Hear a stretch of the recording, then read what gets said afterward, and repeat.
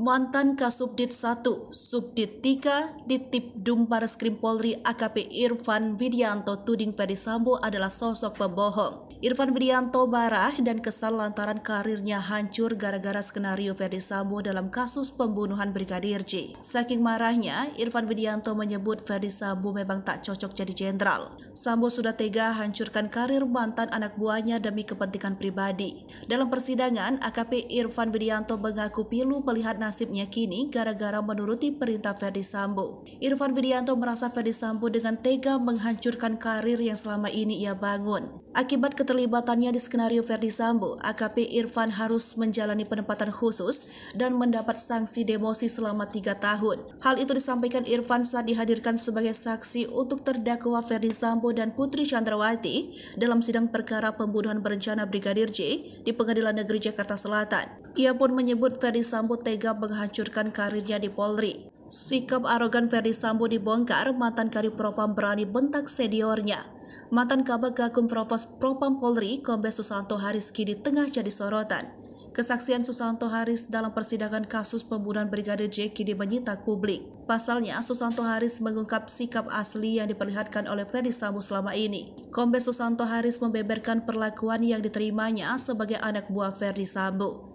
Dia bercerita bahwa dirinya pernah diminta Sambo membawakan barang bukti terkait kematian Brigadir Nofriansah Yosua Huta Barat alias Brigadir J. Namun pada saat itu, cara Sambo memberikan perintah disebut Susanto lain dari biasanya. Padahal di alma mater Akademi Kepolisian, dia merupakan senior Verdi Sambo.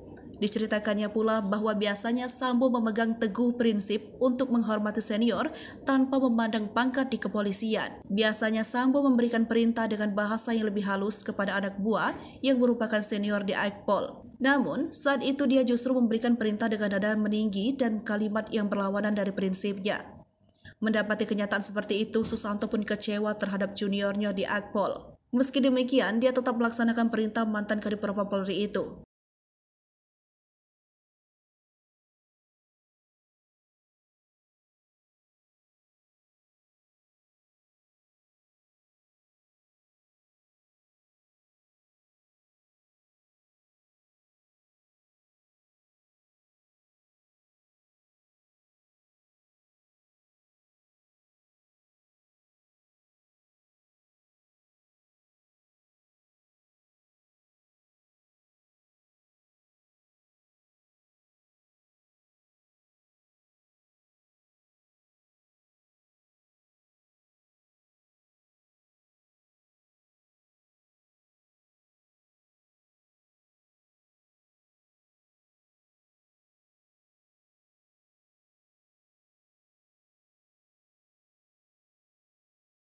Hai pemirsa Seribu TV, jangan lupa komen, like, dan subscribe, serta tonton terus berita-berita terupdate lainnya ya.